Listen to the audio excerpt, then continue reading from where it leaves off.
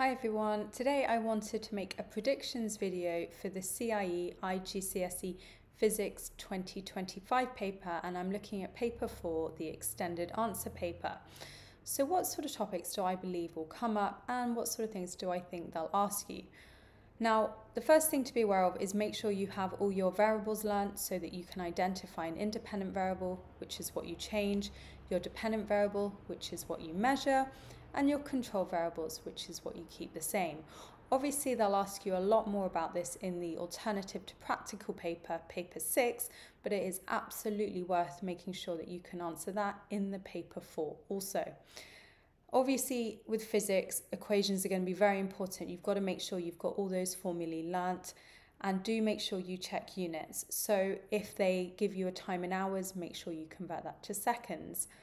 Obviously, remember that the unit for weight is newtons as opposed to kilograms. And if they're asking you to find weight or force, because remember they both have the unit of newtons, you might need to use W equals mg, so weight equals mass times the gravitational force, in order to change that into a force or weight value. Now you do need to know the value of g on Earth, it is 9.8. Another number it's worth learning off by heart is the speed of is the speed of all the EM waves, so those are the electromagnetic waves, including visible light, gamma, etc. Remember, they travel at 3 times 10 to the 8 meters per second in a vacuum. Other equations you need to learn, remember refractive index equals sine I over sine R. Make sure you've got your magnetism equations learnt and electricity always features quite heavily in these papers. So do make sure that you've got your equation linking so do make sure you've got your equation linking voltage, current and resistance, charge, current and time.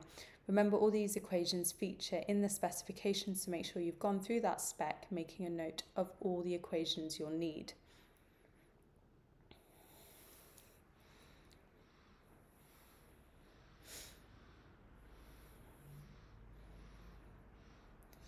Because remember the maths isn't that complicated but obviously if you're inputting the numbers into the wrong but ov but obviously if you're inputting the numbers in the wrong place in the equations then that will certainly upset your answers a little bit So as I said, electricity is likely to come up. Do remember the direction of conventional current. It runs from the positive to negative terminal in a cell, whereas the flow of electrons runs in the opposite direction from negative to positive. Remember your resistant rules state that in a series circuit, your total resistance adds up to your individual resistances of each component, whereas in a parallel circuit, 1 divided by that total resistance equals 1 over R1 plus 1 over R2, etc. They do like to check that you understand that with the calculations involving electricity.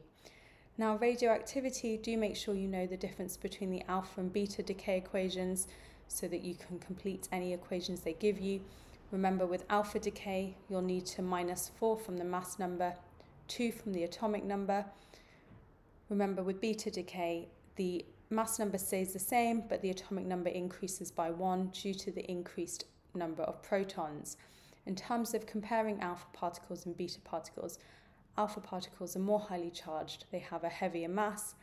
Beta, being a fast moving electron, has a lower mass and a lower charge. And do make sure you can specify their various penetrating and ionizing powers. Half life calculations do come up quite a lot, so do make sure you've checked over that. So yeah, my biggest tips here really is to make sure you've got all those formulae learnt, that you know the standard units, that you can do any relevant conversions, double check for the number of significant figures, the number of decimal places they're expecting, and remember in your exam they're annoying, they'll expect you to provide the appropriate unit. They do not provide you with units, so you need to know that the unit of momentum is kilograms meters per second, the unit of moments is newton meters. Remember the equation force equals change in momentum over time. People always forget. People always forget that equation. But yeah, good luck with your exam and let me know how it goes. Comment on this video specifically after exam so I can see how it went. And remember, I do have my all-in-one videos as well as my revision guide if you like the sort of answers I provide. My revision guide is available at swhlearning.co.uk in case you want to get hold of a copy, which is a PDF. So you'll get hold of that immediately.